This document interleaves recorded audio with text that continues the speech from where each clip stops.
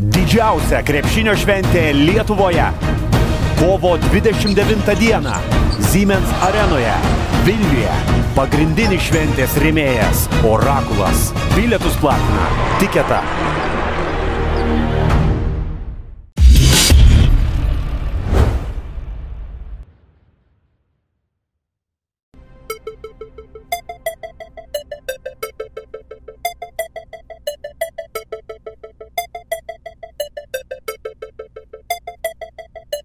Grumtis nėra lengva. Paulius Dambrauskas. Kitis nesugebėjo įmesti iš vidutinio nuotolio. Dambrauskas vėl iš toli ir galų gale. Netlieka dzukai. Dambrauskas vėl proga jam ir Paulius Dambrauskas. Dar vieną tritaškis. Tikėjosi dažniausiai, o Paulius Dambrauskas šiandien yra tas žmogus Dzukijos komandoje. Dambrauskas meta 3, 3, 3 taškai. Svečiai.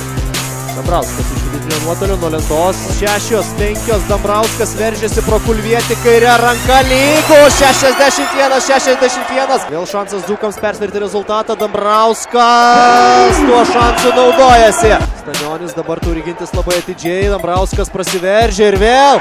Ir vėl Paulius Dambrauskas. Ką išdarinėja jis?